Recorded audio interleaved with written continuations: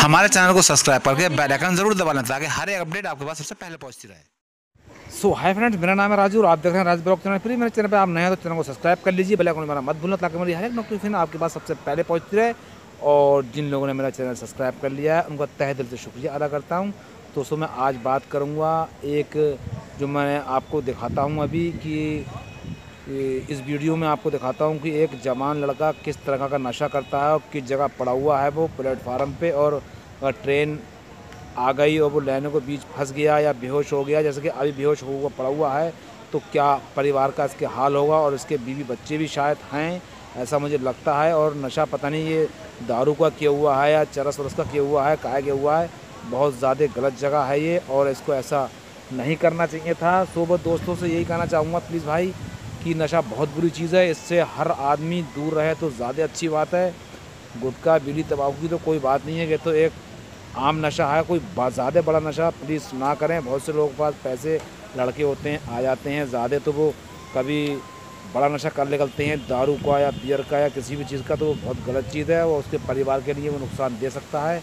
So friend मेरा यही कहना है कि प्लीज़ जो भी कोई हो, अगर नशा करता हो तो प्लीज़ इस वीडियो को देख के समझ ले, नशा ज़्यादा ना करे।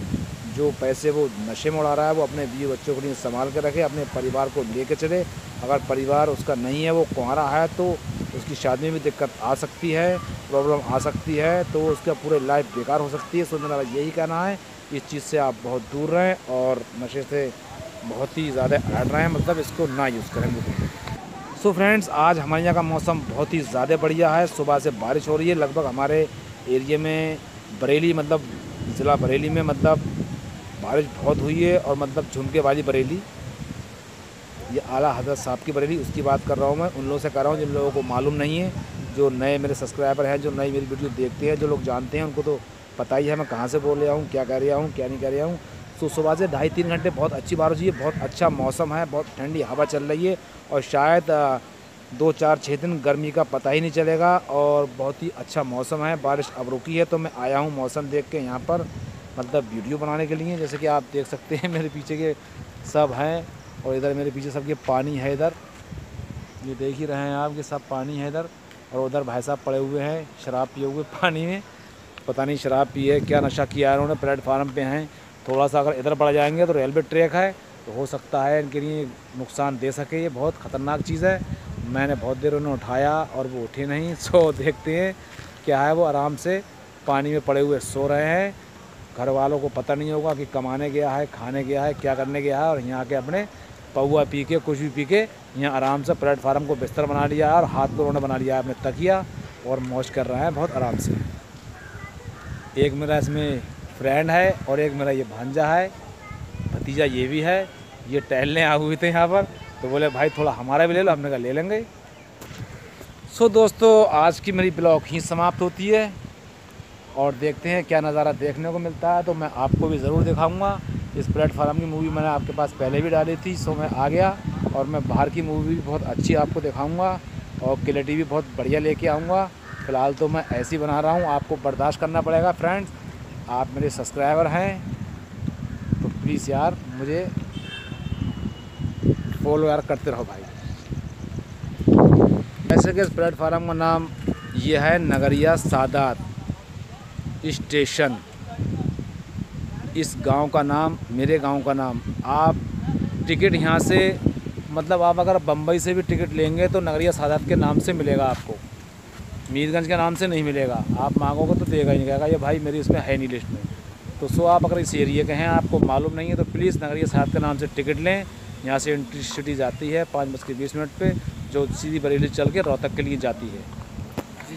सो so फ्रेंड देख सकते हो ये लोग स्मैक और दारू पी के कैसे जवान लोग ये नशा करके अपनी ज़िंदगी को ख़त्म कर रहे हैं। और ये नहीं मालूम कि कितनी ख़राब चीज़ है ये। और ऐसी जगह ये आए हैं, अगर ज़रा सा भी इनका कदम बैंक जाए यहाँ पर तो हालात कुछ ऐसे हैं। ये देखो, ये रेलवे ट्रैक है। अगर ये इधर आ जाएँगे जी, अभी ट्रेन निकली है। सामने एक आ रही है ट्रेन और इधर से एक अभी गई है और यहाँ पर ये भाई साहब नशा करे हुए हैं, पता नहीं स्मैक का नशा करे हुए हैं या दारू का करे हुए हैं, कैसे करे हुए हैं। और ये यहाँ ऐसे पड़े हुए हैं। कहाँ कहाँ जा गए ऐसे लोगों को बताइए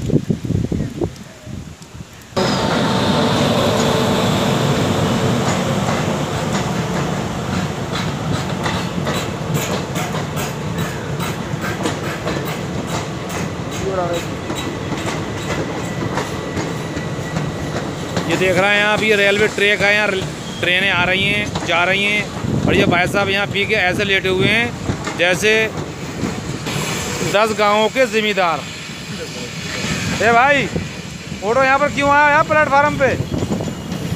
उठ के जाओ यहाँ से। लेने हैं यहाँ पर, ट्रेन व्रेन आ गई दिक्कत हो जाएगी इधर को। इधर तुम पहुँच गए लेने पर ऑटो चलो यहाँ से। लंबे कलेस में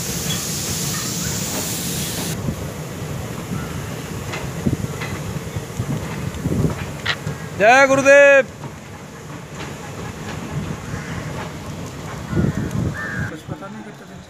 कुछ तो बताया वो डॉक्टर ने यार। अच्छा। हैं? देखो सेल्फी बहुत चल रही है तो हाँ यार सेल्फी लोग ले ही रहे हैं।